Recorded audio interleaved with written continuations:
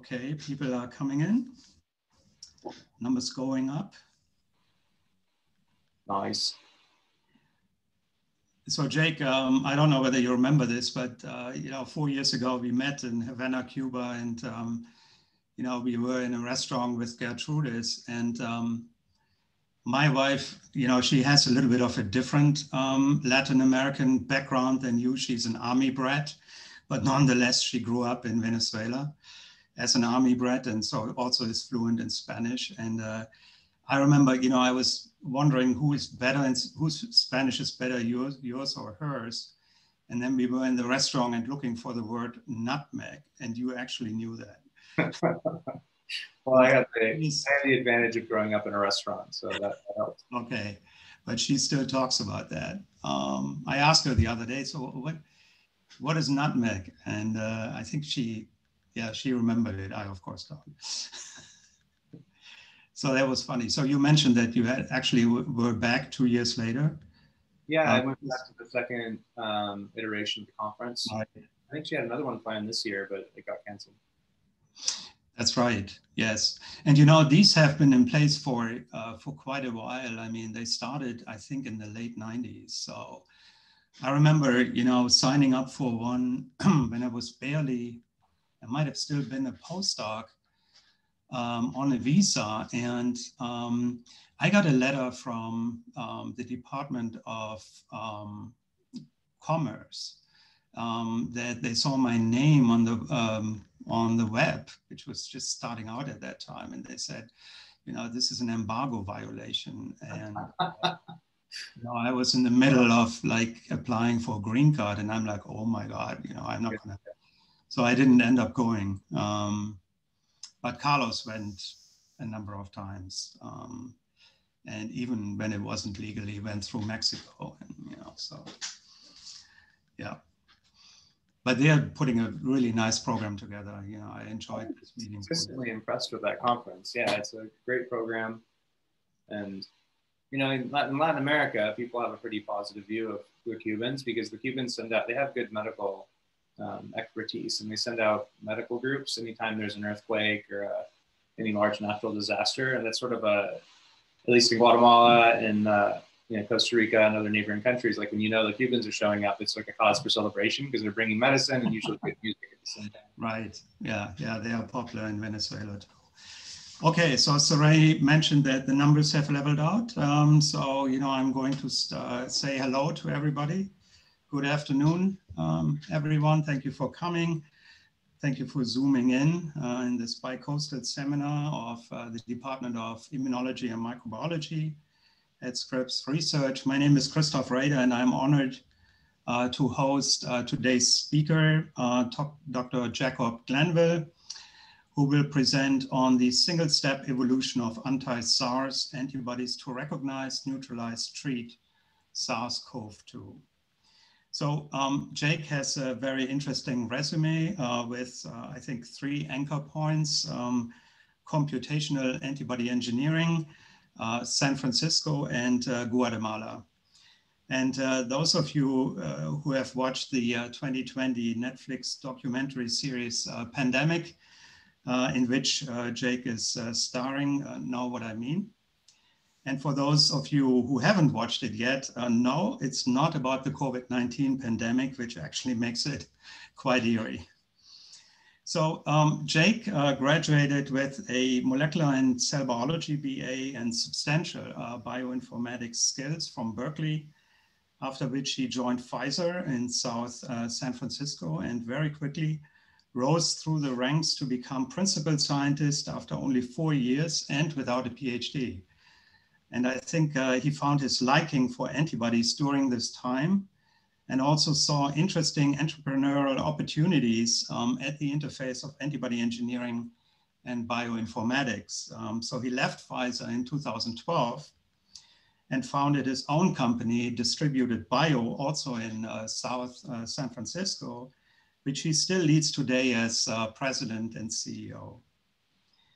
And um, what is really remarkable is that Jake started and grew distributed bio in parallel to going back to school and pursuing his PhD at Stanford University. jointly mentored by Mark Davis and Scott Boyd. He received a PhD in computational uh, systems biology in 2017. And uh, his thesis project on identifying specificity groups in the T cell receptor repertoire was published in Nature in the same year. And in fact, um, that's what I saw Jake present uh, at uh, the immunology meeting in Havana, Cuba, uh, four years ago. And I thought, man, this guy is going places.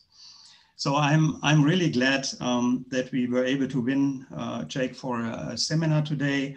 Um, to the audience, um, please use the Q&A feature uh, to submit your questions during and after um, Jake's talk, then I will read them um, and uh, Jake will answer them after his talk. So thank you, Jake, uh, uh, for being here.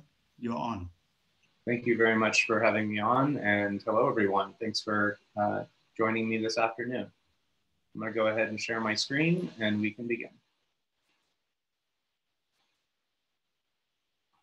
Cool. If it's okay, I'm gonna share it in presenter mode like this because sometimes I have noticed that the slides don't advance when I try to uh, make it full screen.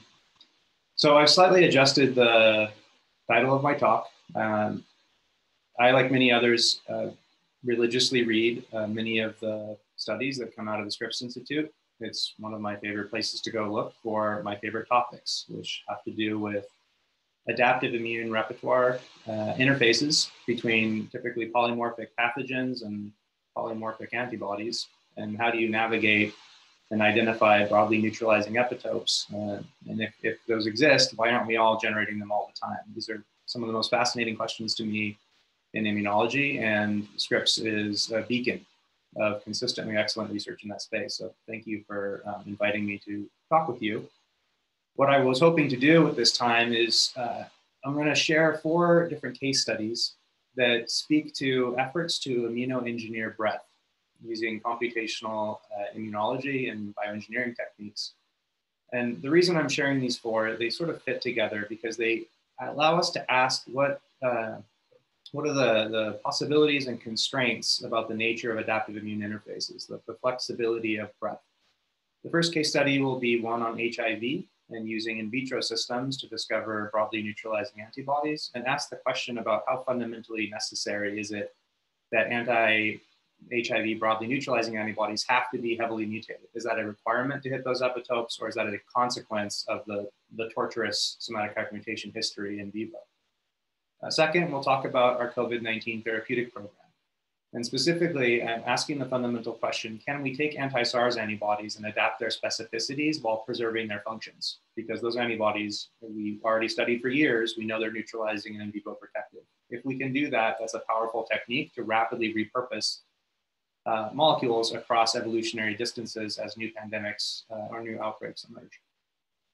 Third, I'll talk a bit about snake venom um, and anti broadly neutralizing antibodies against snake venom toxins. And the real purpose of the question is, first off, it's, it's practically useful, but the, the real question is, can you do that in vivo through periodic immunization with multiple different uh, strains, in this case, species of snake?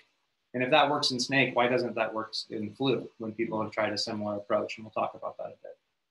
And then finally, I'll wrap up with the, the hard one, which is um, trying to coax the immune system to recognize conserved sites on fundamentally poly polymorphic surfaces. And, really the question, why do we miss? Why, why, if these conserved sites exist, why does the immune system uh, seem so reticent to target them over a non-conserved epitopes? And I'll provide what I see as a part of that puzzle and a part of the solution. So we'll kick off first with HIV. This is a short and sweet little case study. Uh, and the two interesting questions I want to address with it is really, first off, what is it that makes some epitopes or targets challenging? Uh, and in that sense, HIV to me fits into a subcategory of a number of other challenging targets that we go after using these technologies developed, uh, including GPCRs and ion channels, peptide MHC complexes, typically things that are hard to hit in a specific way. And the second question is really just, are heavily mutated anti-HIV BNABs a true requirement? Um, the, the, studies that showed that you revert to germline, you lose uh, specificity or affinity of a BNAB, does that really mean that they have to be mutated to recognize those epitopes? Or does that just mean when you go germline molecules, you lose binding because you're no longer recognizing the version of HIV that it originally recognized? Um, so this is a, a, study that was conducted. Uh, it also sort of fits in the story I'm about to tell you about COVID-19 because I was flying out to Washington, DC to the BioThreats meeting in January 29th of this year. Uh, we had recently done this work with Peter Kim at Stanford University, and we were presenting it to BARDA and DARPA. Uh, the, the, study was as follows. Uh, Peter Kim at Stanford had contacted me. He was interested in trying to see if he could generate broadly neutralizing antibodies against a semi-conserved surface um, on the HIV co-protein.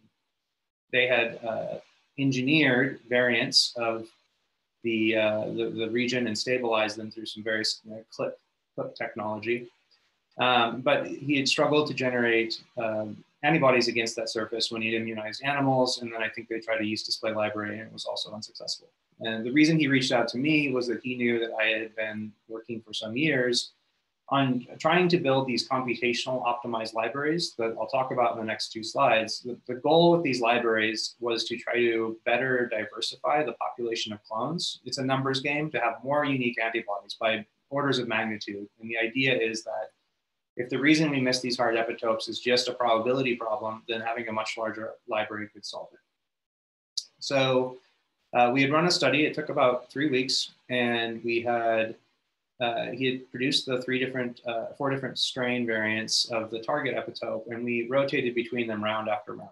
In an in vitro library, when you pan the library round after round, we use magnetic bead manipulation robots. The antigen um, and the, the antibodies are fixed. There's no affinity maturation taking place. And so we were able to basically select for breadth if such breadth exists. And we were pleasantly surprised to find that yes, indeed, we could find a set of antibodies that were broadly neutralizing um, one hit, you know, single digit nanomolar in almost all cases for the strains that they tested, and they were functionally active out of this process. The, the interesting thing was that those antibodies also didn't have any mutations in the germline, and they, they didn't have abnormal insertions or deletions uh, in the CDRs. And we were able to find binders, although there were gene biases from the 16 scaffolds we tested. So this really told you with a large enough library, it is not a fundamental limitation that these epitopes can only be accessed with certain V genes um, or heavily mutated interfaces. You just need a large enough number of shots on goal. Um, there's practical implications there in terms of being able to easily express these materials um, for therapeutic development. So this, uh, the we were, reason we were able to, to hit these targets, and I don't really want to spend that much time on this because I'm actually going to describe a different technology for COVID-19, but the, the way we were able to hit these targets by building a much bigger library was a consequence of applying high throughput sequencing technologies to look at people's immune rep repertoires and understand how much diversity actually is there under the hood pumping through your veins. Uh, what I'm showing on the left is that while you may have 10 to the 11 B cells in your body, there's a much more modest diversity of 10 to the 7, maybe 10 to the 8 naive B cell receptors. And then it's really only a few hundred thousand memory B cell receptors that are detectable in the peripheral blood because most of your secondary lymphoid organs are where your memory is stored. So given those constraints on PBMCs, we came up with this new library design where we would capture H3 diversity from the naive compartment and memory diversity for H1, H2, L1, L2, and L3. And that process of parsing out better diversity from different regions, where the H3 diversity is important in the it's about 100 times more diverse than the naive compartment, but it only contains diversity there. Whereas the memory compartment is less diverse in total, but it has all this somatic hypermutation. By pulling them out and combining them, we're able to leverage combinatorics and come up with these radically more diverse libraries with much less clonal redundancy. And so that was the basis of why we were hitting these epitopes more easily. Uh, and this fit into a general observation we've had on uh, GPCRs, ion channels, some anti-idiotype work and anti-peptide MHC and so forth. These kind of traditionally hard targets we've been getting pretty good traction on with these, these computationally optimized libraries, which leads me to kind of a point here that there has been sort of a mysticism or argument around GPCRs and ion channels where the community has been very frustrated targeting them. And therefore they came up with these odd arguments that, well, maybe the human repertoire is fundamentally maladapted towards recognizing a GPCR. We need a, we need a chicken or we need a llama or some other abnormal topology to target these epitopes. Um, I don't, I think our data is showing that's not really true. That it was really just that these are fundamentally difficult. So the probability of success was low, but you can adapt to that by having a thousand times more shots on goal that will make sure that you hit something which is a hundred times harder. So it's really just a probability challenge. And you're going to see me return to that sort of concept over and over again on how do you beat challenging systems by just providing enough shots on goal to, to attack them. So that was the kind of uh, the thing we were going to go present to uh, DARPA, but then we showed up and they're like, forget all that. We want to talk about COVID. So this is the next case study. And this is our, this crazy program that we started in January 29th. And now we are wrapping up safety and tox and manufacturing and planning to go into clinic, which is the latest program I've started. And it's going to be the fastest one we put into a human. Um, and what I'm describing is the way that we achieved this uh, I just showed you that HIV thing with these big libraries, but I actually in January decided that still wasn't fast enough because it would still have the problem we have to discover a bunch of binders, figure out which ones we're neutralizing, and then spend time optimizing them. And I wanted to skip that two stage process. And so I wanted to ask whether we could evolve uh, known in vitro neutralizing and in vivo protective anti-SARS antibodies where years of work had already been spent on them and immediately optimize them to affinity mature them and thermostabilize them to recognize the novel coronavirus. Um, and, and the kind of cool question there is if you can do that, it, or to the extent you can do that, it teaches you about how much specific epitope-paratope interfaces are fundamentally limited by breadth.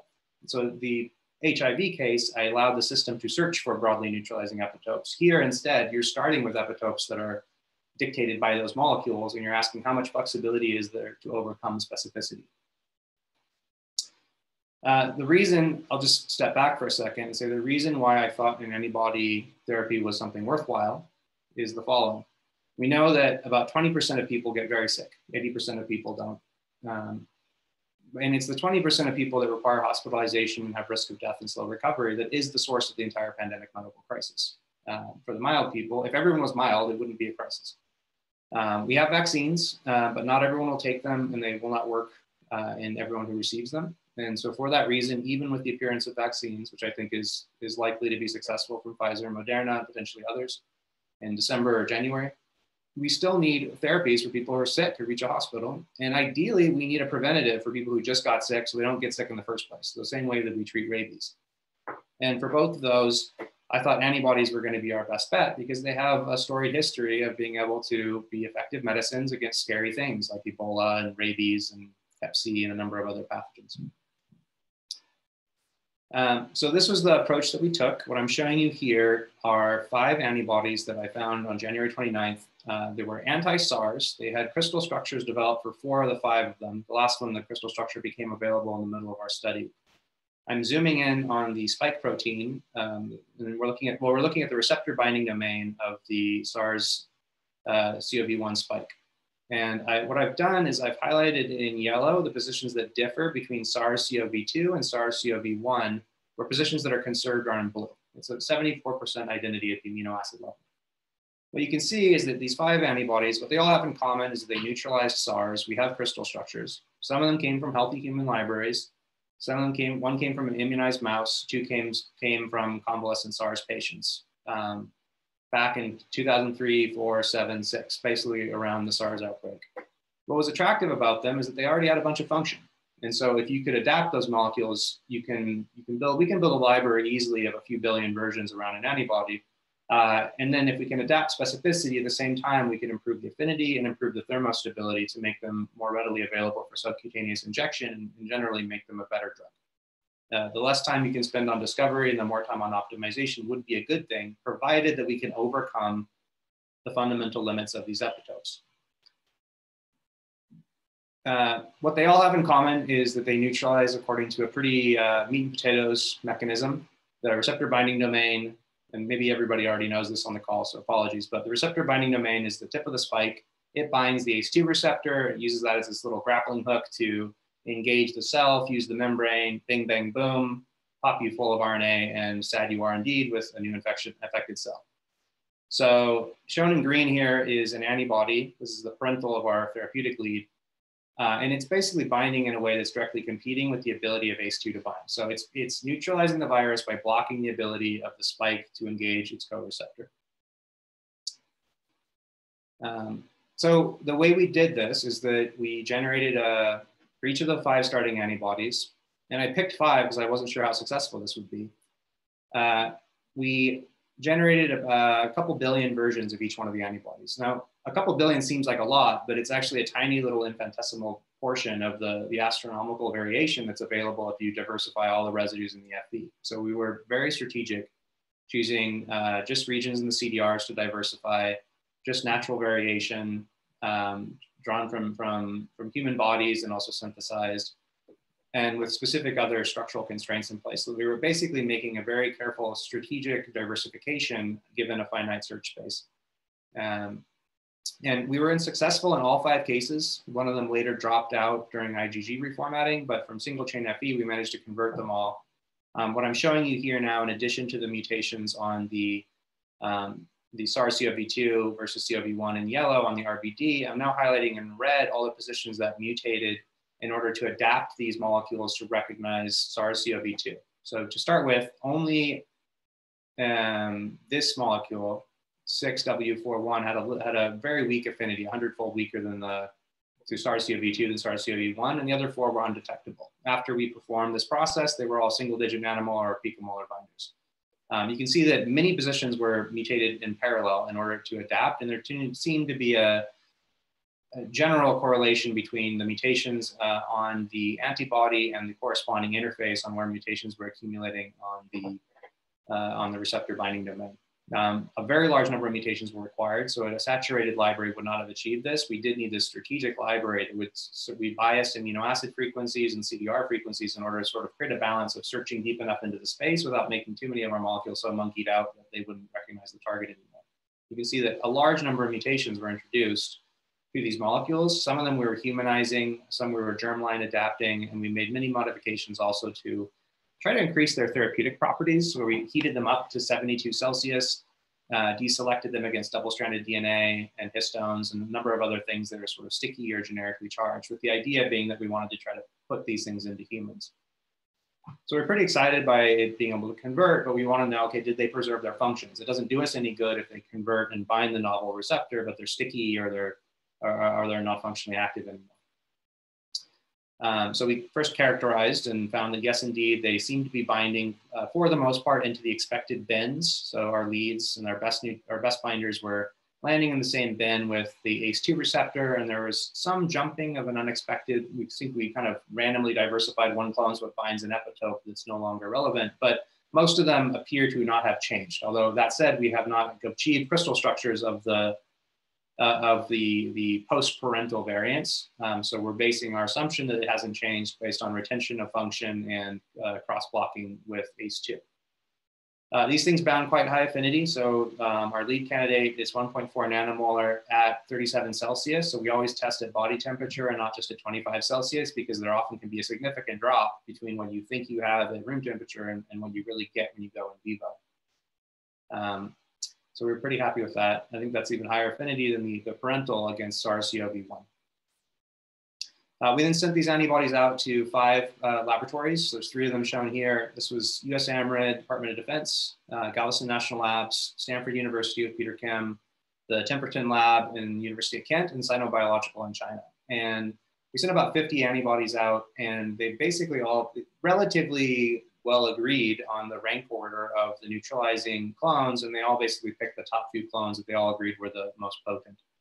Um, that was pretty exciting. This is particularly in a period where there was a lot of scary things going on with those IgG tests showing a lot of false positives. So it was nice to see that these five labs, some using wild type virus, some using pseudovirion particles, using different protocols in different people, were all largely agreeing on the same results. Um, this is going to show up in the paper soon, but the point here is I've sort of mapped them, and you can see the relative rank order with blue being uh, weak and white being very good or yellow. Um, shows that everybody pretty much agreed that B9 was our favorite, followed by E2, followed by F1, and then there's some stuff down here that nobody liked. There was a little bit of relative shifting of UTMB, uh, you know, wild type virus was a, it's a tough one, so it's harder to neutralize. The ChemLab one seemed like it had the best ability to neutralize. Uh, it was a pseudovirion approach but the rank orders were similar. So that was attractive to us. And I didn't have to have any coronavirus in my lab. And we got five independent labs all agreeing, yes, you should work on F1, E2, or B9. And so at that point, it came down to therapeutic properties, and that's where B9 had a significant advantage. And keep in mind, we want to be able to deliver this as a subcutaneous injection. Uh, so next was, okay, but does it protect hamsters? So we sent it out to uh, USAMRIID and uh, Galveston National Labs. We had both a therapeutic assay and then a prophylactic. And then there was also an immunocompromised, so cyclophosphamide immunocompromised prophylactic assay. So in the therapeutic one, the animals had received 100,000 PFU of virus. 24 hours later, they, um, they got 15 mg per kg of Arseni B9 or, or they didn't. And with, within 48 hours after that, there was a 97% reduction in viral load in their lungs. And I'll show you in a bit, there was a bunch of resolution of lung or avoidance of lung pathology. So it looked very potent in the in a, in a reasonable dosage. We weren't putting some crazy, crazy dose into these, these hamsters. The prophylactic setting, um, this, these are showing body weights. Uh, and what you're seeing here is that the animals, they receive the, anti, the antibody IP 24 hours before becoming infected, again with 100,000 PFU. Uh, the animals that got the antibody continued to gain weight, whereas those that didn't get the antibody deteriorated. And the similar thing was observed with the immunocompromised hamster model. So this is pretty cool. This is, we took antibodies against SARS, adapted them, increased their affinity, and now show that they preserved their functions of neutralization and uh, and and protection. That's that's a that's a handy thing to have because most new viruses that we see are related to other viruses we've already run into, and we've built up a war chest of antibodies. So even if we don't have a perfect BNAV, this tells us that we can pretty reliably adapt these things. We did it five out of five times. I would say four out of five because one of them didn't uh, survive the, the IgG reformat. Um, so we were kind of excited about that. Uh, this is just showing some tissue results. This is lungs. If the hamsters got the 15 mg per kg, their lungs were looking much better than the hamsters that didn't. I am not a uh, tissue pathologist, but you're looking for these little kind of more airways open. This is quantified here as percent infiltrated airways. Um, significant reduction if you have the medicine, and again, significant viral load. So this is doing all the good things you want. The hamsters are running around eating, getting chunky if they having cleaned up lung tissue and reduced uh, viral load. Um, so that made us happy. Um, this is more for those who are interested. Um, this is going to come out in the paper soon. It's just describing the studies that were done at the two facilities and some additional antibodies and viral, viral titers and so forth. Um, I think in the interest of time, I'll move forward. And if anybody's interested in the slides, please, please contact me. um, so in addition to the FE engineering, so what I didn't really go into so much is that we also thermostabilized our library. We heated it all up to 72 Celsius at each panning round. And the effect of that is in other programs we've run, we see that that typically doubles the expression level.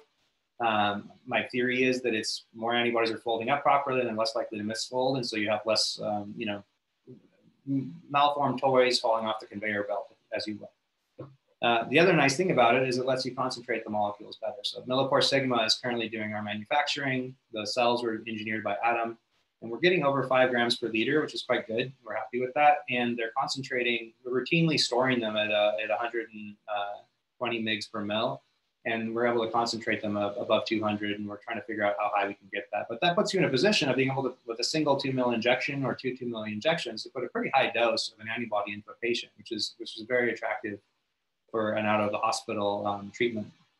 So that's the fe engineering. In addition to that we did two different mutations. Um, we did a safety enhancement genentech lala mutations in the hinge and there's kind of four reasons for that. This is, again, uh, controversial. I think there's some people who've done the opposite and they've chose to enhance effector functions, and, and they may prove to be right. Ultimately, we're going to find this out in clinic.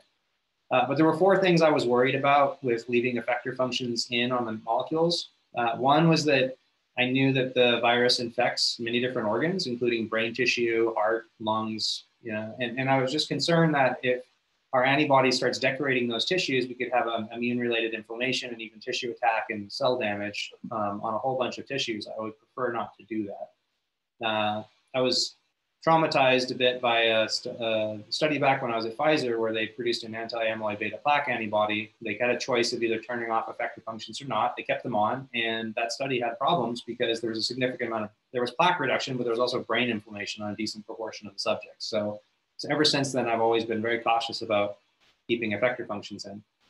Uh, I know some people like them, but they like them because of HIV.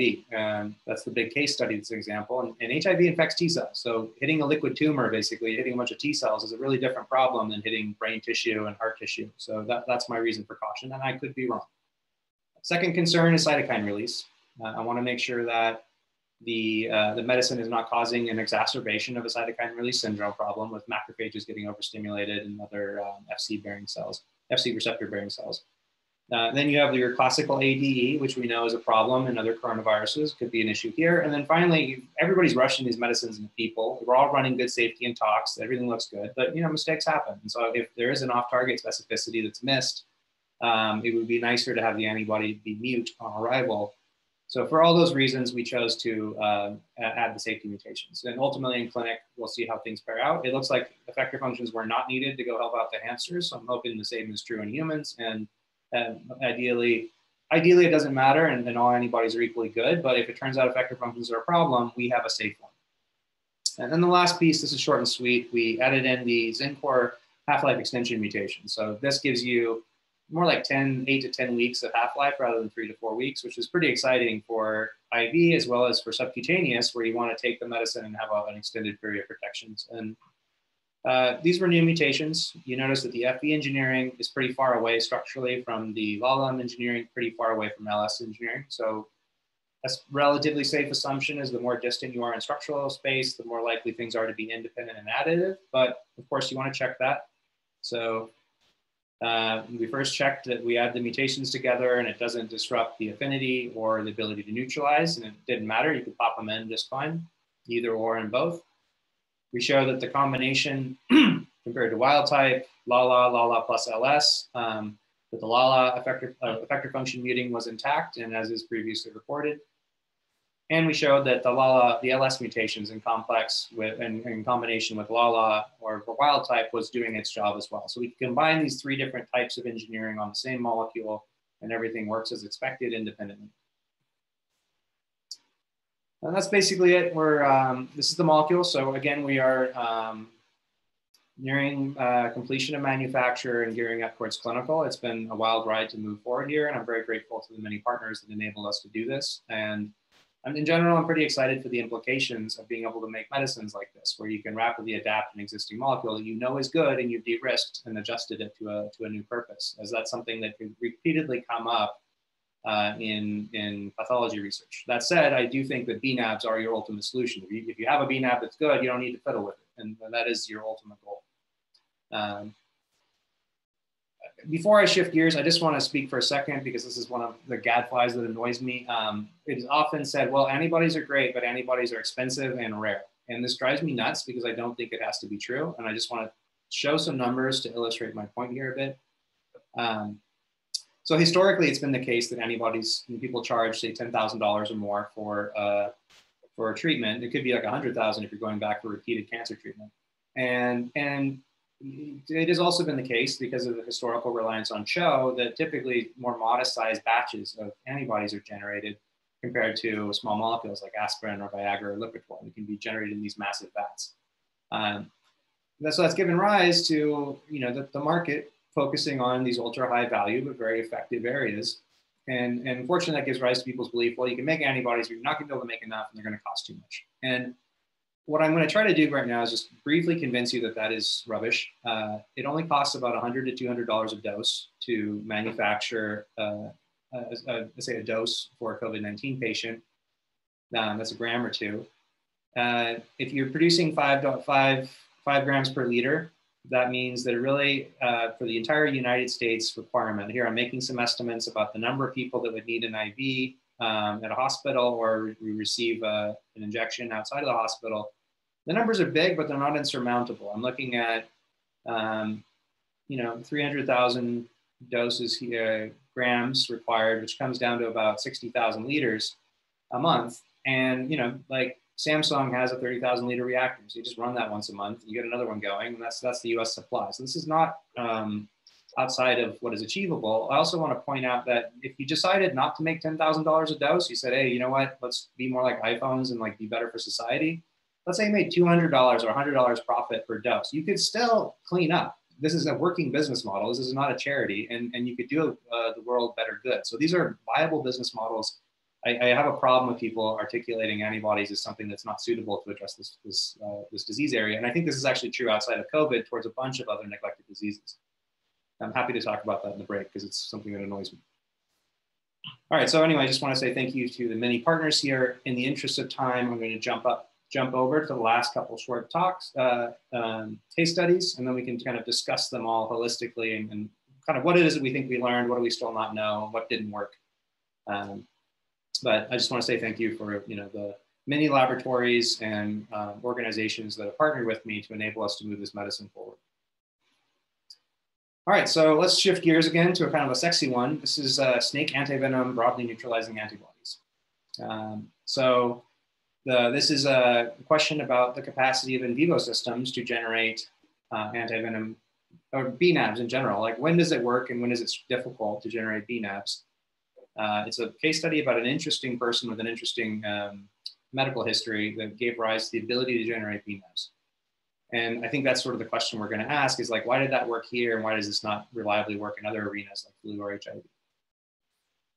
Um, so first off, you know, I am attracted to uh, polymorphic surface problems. So uh, snakes were attractive to me because there's a bunch of different species of snakes. They all have the same homologous sets of toxins. And it seemed to me that there should be broadly neutralizing antibodies that could conceivably be raised against these shared toxin surfaces. In particular, the functional active sites that if they all need to go bind a receptor on you, there's going to be evolutionary pressure to constrain that site, much as this is the case uh, with some of the BNAb epitopes against CD4 uh, for HIV. Um, this is an example of some neurotoxins from krait, mamba, taipan, and cobra. And I've highlighted in red regions that are um, completely non-altered between the, the four species. So they tend to be towards the center, but there are loops and such that are present on the surface. I figured it was worth a shot to go look. Uh, I figured I also like uh, snake antivenom as a, as a problem. I think it's it's challenging in some respects, and I'll describe the challenges. But it's also like really low hanging fruit. It's um, in terms of biotechnology compared to cancer research. Right, cancer research is really hard because you're having to fight uphill against hypotheses that may be incorrect, uh, and an ever evolving hydra of an enemy. Whereas snakes don't, you know. I just said the word hydra, but really snakes don't evolve that fast. So if you can solve this problem well, well once, you've done it forever. And there's a lot more people that are affected by snakes, maybe more than you might think. So, uh, you know, 15,000 or 20, I think 21,000 people a year in the United States have CLL, and that's a huge market. There's so many groups going after um, that specific area in cancer, where it's two and a half million people a year that are bit by, by um, venomous snakes. 300,000 have permanent disabilities. They lose a leg or an arm or a hand and they can't work anymore. And then 100,000 die. So it's a lot of people. It's, most of them are in poor countries. Um, but there's ways you could make a financial viable business model here by supporting, getting support from militaries and, and hospitals and subsidization. Um, the advantage is you know what the problem is. It's the venom. That's a much easier problem. And we already have uh, antivenoms. They have a bunch of issues. They're typically sheep sheared fabs, uh, but they've proven the mechanism that antibodies can be effective. So this is sort of a ripe area for immune engineering to make a better medicine. Um, so here are the problems. Here's why people haven't done this so much. One is money. Uh, the second is it seemed like an insurmountable problem for two reasons. One is that there's 550 venomous snakes that pose a risk to humans. Um, you can't even read these phylogenies because they're so big. But the punchline is people would say, you know what, you're never going to get them all. Like you should just focus on individual snakes. And that's what they do right now. They have venoms that are spe- anti-venom specific to a single snake species or a very limited range. Uh, and uh, so that's a problem if you're in an area where there's multiple snake species because you get bit, you go to a doctor and they're like, oh, could you just go back out and like fish around in the in the bushes and find the snake that bit you so we know whether we have the right antivenom for you? That, that's not a good look. So uh, it would be nice to not have to do that. So there's 550 of these snakes. Um, but the good news is there's really only 12 of them that, that pose the majority of risk of death and limb loss to humans. The rest of those all they'll, they'll hurt, but you're probably going to walk it off and be okay. So you don't really need to solve all 550. You can solve these 12, maybe 14, depending on how you define it. So the problem is already vastly reduced.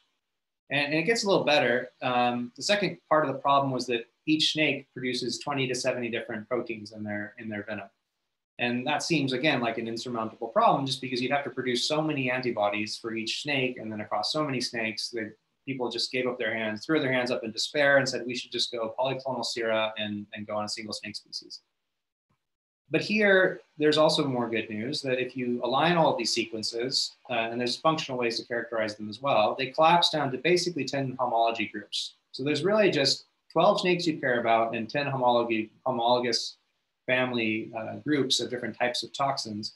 And even in the set of 10, not all 10 are equally bad. Some of them are going to cause limb loss or kill you. Some of them are just going to be painful. And so there, there could really be a subset of those that are really critical to target. So this starts looking like something that could actually be tractable and something you could put in a tube. The challenge is, where are you going to find these antibodies? And that takes us to Tim Freedy. So I was Googling around um, a few years ago and I was trying to find people who worked at, you know, herpetologists who worked in vivariums who'd been bit a couple times. So I was talking to people in Costa Rica and then I find this guy who's a herpetologist that has been 17 years doing um, generating hyperimmunity for self-immunization when he was retiring. And the way he would do it is he'd been immunizing himself with venoms from different snakes from around the world repeatedly in a cyclical process. And so I got very excited because first off, he could tolerate the venom, which tells me that he, he generated antibodies. But second, the way he was doing that by repeatedly changing out the, the venom species and going back to them over and over again suggested to me that he may have done something remarkable with his immune system, and that is that he may have selected and continuously provoked and rewarded B cells for breath. Um, so I contacted Tim, and this was basically the experimental design. Um, he gets all the snakes, we pull out his blood, we use phage display and um, high throughput screening uh, and recombinant antigen engineering of the different venoms to isolate antibodies, uh, prove them out in vivo, create a cocktail, and that's an antivenom. Uh, so that was the process. We started by generating a number of recombinant venoms. Um, this way we could control them. They could have FC and flag tags or his tags on them so that we could display them on magnetic beads and do very precise selection for breath, the same way we did with HIV. Um, we were able to validate them against his plasma, uh, and, and we were also able to validate them in vivo doing um, MT, MTD studies. So we were able to prove that our, our recombinant venoms were able to get captured with these tags, and they were also able to um, be equivalently or nearly as active as the wild type reported venoms in literature.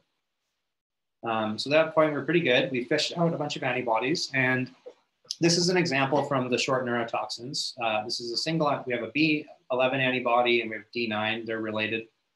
Uh, the D9 antibody is ultra high affinity against the neurotoxin from Mamba, Taipan, and Cobra. Um, these are some of the best antibodies we've generated in our laboratory. So we were pretty excited by this. This is, uh, what? I've lost slides, hold on. All right, I accidentally destroyed the last, the punchline, but um, the punchline here is that we then took these antibodies and we put them into mice and the antibodies are completely protective. So the mice, uh, again, a single antibody, D9, is broadly neutralizing and in vivo broadly protective against the neurotoxin from Cobra, from Taipan, and from Mamba. Uh, so we're partnering with Peter Kwong right now to establish crystal structures for this, as well as some antibodies that we have against some of the other um, convergent populations of homologs. And we think this is pretty exciting because it illustrates the importance of being able to, uh, to be able to generate BNAbs against antivenom that it, the, it's again, it's just a collection of homologs. We're hitting a shared site. And the attractive thing about that is that that makes now possible the concept of a broad, a broad spectrum antivenom that could be fully human and useful for everyone. I think the punchline here on like, why did this work is worth thinking about because we know that when we try cookie trail approaches like this with influenza, it doesn't result in naturally occurring breath. And I think the difference, my guess is that he kept repeating the process over and over again with a finite number of uh, of, of, venoms that didn't really change over time, rather than constantly being challenged with new ones and his immune system affinity maturing away from history. That, that is my guess, but I, I, don't know at this point. So I'm getting on to the, the end of our time. I think I'm going to go over just a little bit to wrap up by talking a bit about, um, about influenza. So if, if you'd seen the Netflix documentary series, that's what the Gates Foundation supported our work for, and that's what we were doing in Guatemala was uh, trying to address the fundamental challenge of why do our immune systems miss conserved epitopes if they're always there? Like what, why, what is the nature of immunodominance of non-conserved epitopes? And is there ways, if we understood it, to overcome that? Uh, I, I, recognize that this is an active area of research at Scripps and many other places. Uh, So I'm contributing my thoughts on the matter and hopefully some insights that you'll find useful with respect to how computational uh, biology can guide, gain some new insights into what we think is going on here. And then some data we've generated to in vivo in three generations of pig studies that, that suggest that uh, our approach is working. Um, so this is just summarizing the problem. We've got hemagglutinin here. I've got a set of 6,500 different variants of hemagglutinin. I created a heat map of conservation and plastered it all over the, the, trimer. And what you see is that immediately it highlights the very stable um, broadly neutralizing stem epitope uh, site, and then a series of other locations that are recalcitrant to mutation. So the point is lots of sites can mutate. There's certain sites that can't. There's a nice patch there near the stem, but then there's also other sites that are present up in the, the head. The annoying thing is that the immune system seems like it doesn't routinely target that site, even though it doesn't seem that small. And there's other sites that are being targeted. And what's the deal? Why, why are we missing? That was a question which has sort of fascinated me about this since 2009. Um, so I've kind of reached towards computational immunology and computational biology to ask, can we learn something, give us some numbers, again, getting back to that probability theory question of like, can we, can we assign some probability, some numbers on what are my chances of winning this? Like, why, why do I keep losing at poker? I want to understand the math to understand why I keep losing. Um, so first we looked at the human repertoire. So I told you before, there's about 10 to the eight unique B cell receptors in a person. We know from vaccine studies, from like influenza and ERK vaccines, that about a thousand B cell lineages get elicited. So we use, I use a tree algorithm to collapse down clones that all came from the same originally stimulated parental, and that gives you the number of about a thousand. And then George Georgiou's work has showed that about 10% of those are the ones that actually convert to plasmablast and release enough antibody to do you any, any good from a serological perspective. So you've got about 100 shots on goal after a vaccine is the punchline here. That's a lower number than I would have expected. Uh, so the second question is, okay, well, how many how many goals are there? How many epitopes are there on hemagglutinin? And I think what spurred me to go do this is I was reading some crazy paper that was talking about how there are six epitopes on hemagglutinin, and I found that very irritating because it didn't make sense to me. Um, and I wanted to get kind of I asked, okay, how many ways can an antibody really bind to hemagglutinin? And so the way I addressed this is I took every solid crystal structure of every human antibody. There's about 450 of them, uh, non-redundant, I then took hemagglutinin and I used a massive cloud protein protein docking software to just dock 50,000 solutions over and over again with these different antibodies to come up with basically just keep searching the surface, not to try to find a correct answer, but just to say how many ways can an antibody bind to hemagglutinin in different orientations and different locations before you begin saturating to redundancy. The numbers were quite big, it was over a million. And it's actually much worse than that because we know that an antibody, not all residues in contact matter for contact. It's a critical subregion, a critical epitope is what I call it. That is what's important. We know that typically is 12 to 14 amino acids. It could be 10. Uh, and that, that's based on mutagenesis studies at the level of the CDRs of antibodies. And it's really the basis of how convergence works um, when you have uh, related antibodies that are not equivalent and find the same epitope. That there's a degeneracy of the necessity of binding a site um, it's the reason why F10 and CR9114 both bind uh, basically the same epitope on influenza, HA, but they have different breadths because they bind the same site, but they care about different residues. So when you take that into account, you're performing an N choose K calculation, then we end up with this nightmare scenario where we have basically a database of billions of possible constellations of 10 to 12 or 14 residues on the surface of hemagglutinin.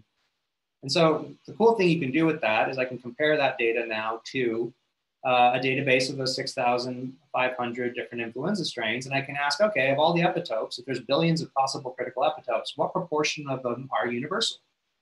And the number ends up being roughly one in a million. And that's kind of simple and kind of profound because it says you just missed because there's an ocean of non-conserved epitopes, and the, the ultra broadly neutralizing ones are just super rare. Now, what's more common are there's epitopes that are found across 90% of flu, and then you get a lot better if you go into epitopes that are broad within H1 or within H3. Um, those are a couple percent of your response. If you talk about 90% of H1s and H3s, then you're talking about 7% or 6%. But it's still the majority of your antibodies. If these percentages were a part of your 100 antibodies you got after a flu shot, you can see the majority of your antibodies were strain specific and they wash away once the virus changes. And that's why we miss. At least by my estimate, it's a probability game. The numbers are against us because the conserved epitopes are rare and they're overwhelmed by a bunch of strain specific epitopes. So that's cute. Maybe there's something we can do about that information. Um, in the interest of time, I will skip this. I will, so this is the method. We tested in, beach, in silico, then went in vivo. And basically what we did is said, well, if we co-immunize a large set of hemagglutinins uh, all together, where each hemagglutinin is at too low of a dose to elicit an immune response, then strain-specific B cells won't have enough antigen to activate, whereas B cells that recognize a more broad epitope will get basically a linear increase in the dose. And so therefore there's a dose relationship between the conservation of the epitope recognized and the, the concentration of antigen observed. Uh, that will result in, in uh, you know, T cell, better T cell stimulation and so forth. And so this is showing as we dilute the mixture, we would end up anticipating greater breadth towards the future. That was the, the method. That way we could overcome that overwhelming ocean of strain specific stuff by essentially diluting it up. Um, so these are the studies. We first proved that a single dose at our, our low dose, we found a threshold where if you give it to a pig, they don't respond to that single antigen. Um, it's 50 nanograms. Whereas if we give uh, 27 different HAs, each of 50 nanograms, not only do you respond to those two that were in there, you respond to a bunch of other things uh, in the, each of 50 nanograms, as well as things outside of that set. So that suggests to us that this approach was working. This is uh, data from the first study where compared to uh, bivalent, you get mostly response against the years immunized. We got this super broad re response by taking this mixture of 30 components, each one to dilute to elicit an immune response against self, but shared epitopes would therefore be at higher concentrations. Um, we have found a dose dependent effect where the lower you went with the individual doses, the more you concentrate towards conserved epitopes, which was consistent with the modeling.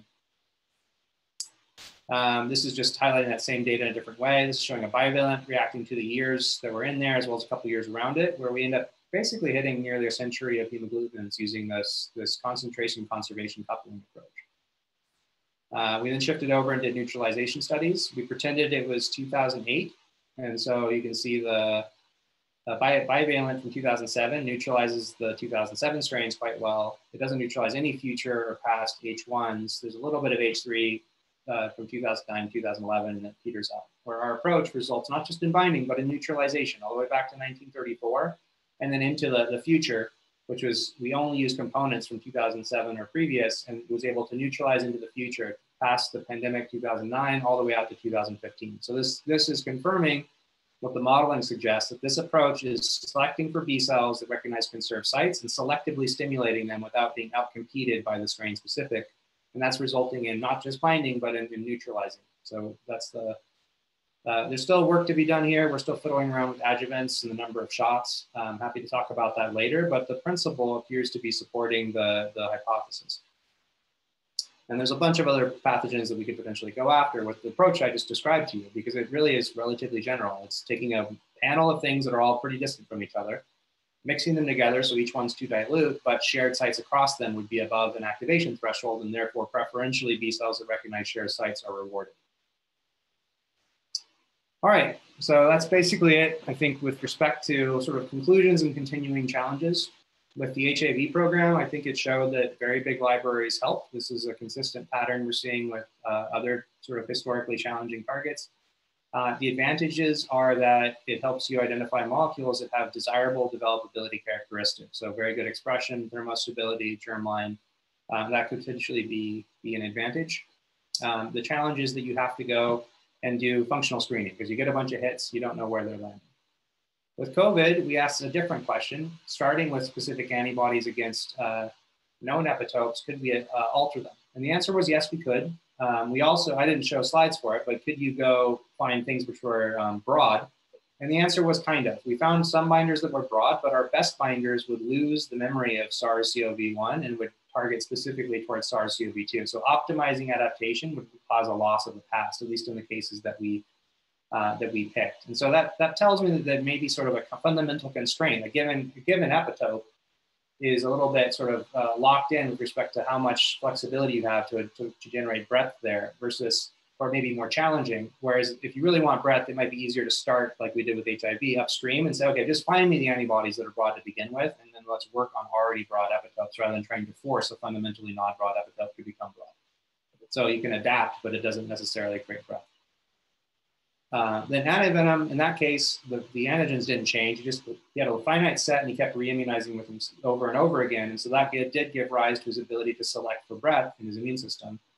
That same approach serially seems like it doesn't work in other studies with influenza. I, I suspect it's because um, the antigens are changing um, over time. So it's not being able, if we cycled between six and six different flus over and over again with the same person, I bet they would generate some breath. That would be my expectation. But unfortunately, that does not solve the problem of flu because flu evolves faster. So in that case, what we think is happening is that there's a overwhelming number of B cells that are strain specific uh, compared to the ones that are more conserved, and that we can avoid that that that portion of the distribution by administering a population of hemagglutinins that are individually dilute, but they, uh, they contain shared epitopes and that a mixture of those shared epitopes would therefore be above a threshold for activation and therefore those B cells would be preferentially rewarded. The challenges we face there are really in manufacturing. That we can prove this out academically, but we're trying to build new technologies and convince BARDA that we can come up with uh, viable solutions to go produce a vaccine that's like 30 or 40 valent because that's that's not how these guys like to work. Um, and and so it's a little bit of a conceptual uphill battle, um, provided we can get there. There's also some challenges around adjuvants. Okay, well that um, I just want to. I think I'm over a little bit. Hopefully, you have a time to talk a bit. These are some of the folks that helped us in the Guatemalan research group from the University of San Carlos. Some of my team up here, and these are the rest of the team members. Um, at that point, I realize I've talked over a little bit, but I just really wanted to share that story. And at this point, maybe I can um, take any questions and talk with the audience. Thank you very much, uh, Jake. Beautiful talk. Um, so again, audience, please um, submit your questions to the Q&A function. I see there are already two. Maybe, you know, I can start out, uh, Jake, regarding the COVID-19 antibody, uh, Senti-B9, I think it is. What are your thoughts? Uh, we all know Regeneron is using a cocktail of two antibodies. Um, Lilly, a single antibody. It looks like you are also using a single antibody. So, what, what is your thought on that? Yeah, so I think there's some advantages and disadvantages of, of each approach. The advantages of a cocktail, there's really two advantages of a cocktail. So, uh, one of them is that in the first generation of new binders, uh, there can be synergy between antibodies if they're individually medium antibodies, they can synergize to become uh, better than, than just doubling the concentration of each of the members. So the synergy can be helpful, especially if you're, you're in a foot race.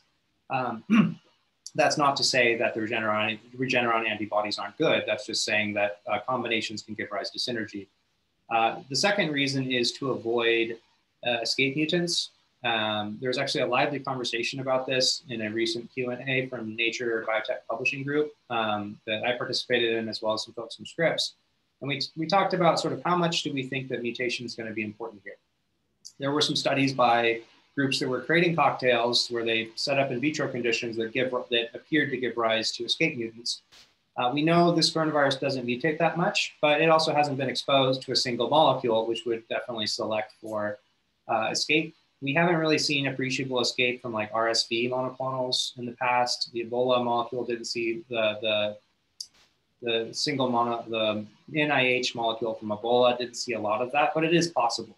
So that, that's the, the advantages of a cocktail. The disadvantages are additional cost of manufacturing and complexity of manufacturing of the material. So I chose a monoclonal um, first off, I'd optimize mine. So there was less of the advantage of the synergy. If you have a really good optimized clone, the synergy uh, benefit goes away. Um, there still is the risk of immune escape. I am binding an epitope, which also engages ACE2. So the region is relatively conserved, but there are variations that could be generated. So my strategy here is I wanted a medicine where I, I, my goal is to charge, you know, less than the cost of an iPhone for the therapy so that everyone can afford it. My feeling is mass produce this as the front line, and then I can externalize the cocktail to the market. So people can take this medicine first, and if they if they do, or if they are the two percent of people that generate escape mutants, for instance, then they could take the more expensive medicine as a second line of defense. The right. other advantage is giving it early is always helpful. The more virus you have in your body, the more opportunities you have for escape mutants. So uh, earlier you can administer uh, the, the antibody, it's more like kind of stamping out a match rather than having to put out a forest fire. Yeah, and you mentioned you you are not losing sleep yet over having silenced the FC domain. I so yeah, uh, again, I don't know until we hit clinic, but there are some, you know, potentially concerning things. There have been safety as a safety pause on the, the Lilly drug. We don't know why yet. It was therapy related, and it could be not due to effector functions. But there was also um, both of the antibody therapies that had reported in interim phase two analysis, both showed their highest dose was actually worse than their, their middle dose. Now, that could be me radically overinterpreting things, but that could also be some immunotoxicity. And then there's, you know, there's uh, murmuring about this and some of the complexities of the convalescent plasma um, results. Um, and and also you know we, we're not sure what's going on with the safety with the vaccines. That really could just be we've dosed so many people. Of course some safety issues are going to come up. But but for those reasons I, I still think i made the right choice by silencing the effector functions. You don't need them and there's a bunch of risk by keeping them. So it may be irrelevant but if it helps then then i've created a safer medicine. Hmm. yeah i trust your intuition. So okay let's go through some um, questions. So there's one from uh, sridhar bale uh, great talk Given the rate at which maps are being isolated for COVID-19, do you see any unique advantages of using antibody data from previous infection? And how do you uh, computationally design maps? Uh, how, how do your computationally designed maps compare to fished ones in efficacy if data is available? His second question is, um, any thoughts on computational design of a pan-corona map? Yeah. is it even possible? Sure. So when I when I say computational design, I'm sort of I'm existing in the middle land. I'm not fully like Baker Lab where they want to have a computer think up a binder. I, I applaud their work that they're doing, but it's just not there yet with antibodies. Otherwise, that would have been a molecule. Um, and, and I'm not all the way into the full natural approach. I think the natural approaches, they were very fast, but they also had money. And the molecules that came out of people right away weren't always the most high affinity. So those ones were affinity matured or they're being complemented with additional antibodies now. Um, they had the advantage of moving quickly. So we have we do have these very cool single cell sorting technologies and cell sequencing. The challenge is that there's a great variability in the antibody quality and quantity that comes out of convalescent patients. So who you pick and which cells you get are going to influence your success rate. Um, the advantage of the computational method, what I did is I took real antibodies and then I, I basically acted like a poker player with a computer in their pocket. I, I strategized, okay, if I have a billion variants I can generate from this antibody, how am I going to effectively populate that search space to be able to jump a gap? I know there's eight mutations on the epitope uh, or six mutations, right? That's a lot. What, what's my best strategic way of exploring variation in all six CDRs while also retaining the core properties of this antibody? So I'm not just drifting too far off into nonsense space or creating non-viable molecules. And that's where computation comes in. I look at repertoires from thousands of people. So I only search the space that's been elected by evolutionary forces. I bias the diversity in each CDR. So it's basically a little bit of a hedge of the original molecule versus how much I'm willing to search into single, double, triple mutations outwards. Uh, and then ultimately you synthesize it and you run the test. The advantage of that process is that I jumped immediately into, uh, into optimization. So I, I, I don't know the exact um, I know that I'm better than one of the other groups out there with respect to affinity. Um, I, one of the other ones I heard is better than mine. I don't, I don't know. Um, the, I, I, there's a little bit of a balance of where it helps and where you get diminishing returns of increasing the affinity. In general, if you get a really high affinity, you can go with a lower dose, which is which is an advantage. Um, we're in the position where we're pretty happy with that. And I think we did better than some of the other molecules, but I think there's another one that also affinity matured that, that looks really good. The other, the, the, other thing we did, right, is we heated the library up. So we got this ultra thermostable molecules, and that means we're going to be able to concentrate above 200 mg per ml. And that puts us in a position of having a subcutaneous injection of a stable therapeutic that's very safe, you can get early.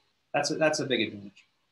With respect to the computational design of a pan mab, uh, I, I still think wet lab is what's going to help take us there. I think you're going to have to take the challenge is with HIV, there's a whole bunch of strains we can work off of. We actually don't have that many examples from nature of coronaviruses that infect humans. We have SARS, we have MERS, we have some colds, and we have the novel coronavirus. So we would need to use, I think there are ways to do this, but we would need to use in, in vitro methods to generate populations of RBDs that have the, the constraint in them that they still recognize ACE2 and then use that as a bait. So that, that is a process that could work, I think, but um, I, I, just I decided to just focus on the problem in front of us for now, and then that, that could be a process for the future. But the limitation is that not all coronaviruses even use ACE2, so that would only allow you to block at least the ACE2 interaction. Yeah, so there's a related question from Mohammed Saleh, um, a PhD student at the University of Toronto. He says, uh, fantastic talk. Are you planning on using your uh, multi-antigen vaccination approach to develop a pan-coronavirus vaccine in the future? So first off, hey, Mohammed. Um, so we, we looked at the coronavirus um, back in January, and the reason that we decided to focus on um, on, on, on an antibody was that there's a bunch of other groups doing vaccines and they were doing them, you know, they're doing them well. We didn't think the mutation rate of the coronavirus really justified our technology and nature hasn't given us the bounty of version. So we were applying our Syntivax technology to flu. We're also running it um, earlier stage. We're doing piloting on HIV. Um, if you don't have as much a, a kind of a bounty of variants available to you from like from the basically from the data, databases of public sources, then we can't stand on the shoulder of giants and use our technology effectively. Even with dengue, it would be a challenge because you basically have four branches of a tree. So we would have to artificially diversify the, the branches of that tree before we could apply the Syntivax technique. And, and the same was true of coronavirus. There just wasn't enough known variation for it to justify our technology or for us to leverage it efficiently. So we have, we have not done so. Yeah. There's another uh, question from a graduate student. This one is here at Scripps uh, in Florida. Adam Getzler, he asks, uh, great talk. I had a question about the antibody diversity problem. While individuals have a low chance of developing having the right antibody available, I imagine on a population scale that individuals exist that do have them. Do you think the natural occurrence of such antibodies is stochastic or selectively programmed epigenetically by SNPs or some other hardwired way? I'm going to do the annoying thing and say kind of all of the above, but it's largely stochastic. And uh, we did some studies with Wayne Marasco at Harvard. We were looking at the effect of the B gene alleles. So these are the different alleles of the B segments on the IGH locus. The locus is very polymorphic. And when you see that, that's a smoking gun that tells you that nature basically is lazy. And so if nature is deliberately maintaining a bunch of alleles in a population, there's usually a good reason for it. Um, so we went and looked at the IG uh, HV 1-69 allele, which is associated with, it's over, it's over um, represented in broadly neutralizing antibodies against influenza. And there's a couple different uh, common alleles that are found there and they're maintained under balancing selection, which is what keeps them in the population. Uh, one of them has a hydrophobic ring that pokes out of the CDRH2 and then a proline sort of keep it poking out. And the other one doesn't. It has a leucine. I think it's a leucine It's a nice leucine. Um, and what, what was found was that almost all of the antibodies, even though the alleles are at similar frequencies, almost all of the antibodies that were broadly neutralizing had the, had the aromatic ring. And crystal structures show that that aromatic ring was basically stabbing into a hidden cleft and creating hydrophobic contacts. And so it seemed like that allele was important. And moreover, people that were homozygous to not contain that allele, they ended up uh, having a little bit worse titers. And then, then this, presumably their immune systems would find other solutions um, on, they could still produce neutralizing titers. It wasn't like one antibody would rule them all, but their immune systems had to go find some other solution. So that tells me there is some genetic effects, but it's also like, it's not enough that like the people with the wrong allele got weeded out. So there, uh, I, I, I think the adaptive immune function is very robust. It creates lots of, uh, you know, it creates this massive field of hundreds of millions of solutions. Um, if you don't have that antibody or that, that B gene present, then you'll find other solutions and you will be protected. Um, that, we know that this is kind of true because if the system was brittle, then we, different species and people with different allele topologies wouldn't work out. But we know that B gene populations are quite different, like mice and chickens and rabbits and donkeys. And yet all these organisms are, you know, living happy, healthy lives. So it, it tells us that the, the stochastic aspect is fierce enough to overcome the components. They probably queue up the system towards certain probability preferences, but ultimately the, the stochastic sampling uh, overwhelms it. I, I, there probably are, you know, there are SNP effects. Um, there are also epigenetic effects, you know, with immunosenescence and the capacity of the cells to mobilize and store productive immune memory. And that's obviously a very complicated topic, but that, that stuff plays out. Um, the really cool thing is that even if you take identical twins, monozygotic twins, you give them both the same flu shot, they do not produce any of the same antibodies. Like that to me, that is awesome, fascinating, um, but very annoying if you're trying to go create a database of known binders. Yeah, super interesting. A last question because we have to jump over to another meeting. uh, is by Haiyong Peng, and he's uh, asking about one antibody in particular, CR3022, which recognizes and neutralizes SARS-1, but only recognizes SARS-2 without neutralizing. So he's wondering whether you try to evolve it to, uh, to also be able to neutralize SARS-2. If you guys remember, I said four of the five antibodies had crystal structures available at the beginning of the study, and the fifth did not. The fifth was uh, CR3022, and our evolved version. So the original one was like around one nanomolar to SARS uh, CoV1 and a little over 100 nanomolar to SARS, roughly to SARS CoV2. Um, after our process, it's now uh, around one nanomolar binder at 37 degrees, and it's a potent neutralizer. We chose not to go forward with it compared to B9 because it is a little bit less stable. So for us, it wasn't, they're, they're equivalent, nearly equivalently potent, um, maybe even more so, but it seemed to have some stability issues when we were trying to concentrate them super heavily. And, and that's important for us because we're trying to go deliver these subcutaneous injections. Uh, but the answer is yes. Thank you very much, Jake. Thank you, everybody, for asking super interesting questions. Again, Jake, thank you so much, you know, for spending time with us. It was uh, extremely um, interesting, and I think we all learned a lot. So, thank you, everyone. And um, we have to go over. You have the link to the other meeting, right? Thank you, everybody. And again, I, it was a privilege to be able to speak with Scripps and the academic research community. Thank you.